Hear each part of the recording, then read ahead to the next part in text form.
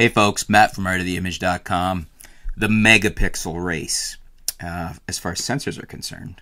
I just did a video on this saying is the megapixel race now over because a lot of cameras seem to have plateaued at 24 megapixels. You know, the D7200 is at 24. The new 5600 from Nikon's release is still 24. Uh, both the 610 and the 750 are 24. Now, granted, both those could have an update, uh, but the 6300 from Sony and the 65, the latest, still at 24. It seems to be a trend. Are we plateauing at this? I mean, the Canon 80D and the M5, 24.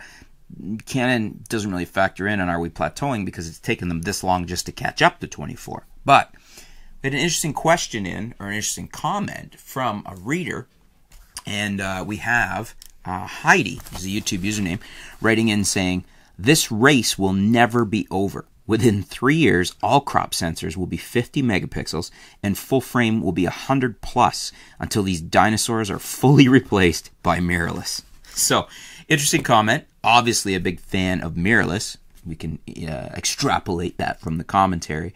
Uh, but Heidi's saying that within three years, all crop sensors will be 50 megapixels and that full frame will all be 100 plus.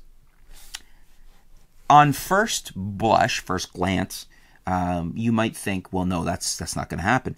But think about it: three years, that puts us into 2020. That's an eternity in tech development. If we look at the development of sensors and how we've, I mean, it wasn't that long ago I was shooting a six megapixel sensor. Not all that long ago that 2.7 was like the Nikon flagship. This this isn't that long ago, especially in technological terms. Um, and we're talking three years and we're looking at that law. Um, I always forget the fellow's name that it was named after, but the, the tech law, the computer law, that things will double every 18 months or two years. So, three years we're talking about, Heidi's saying here 50 megapixels. That's roughly a doubling of our current 24. We know we're already capable of more than 24 because Samsung has delivered a very nice 28 megapixel crop sensor.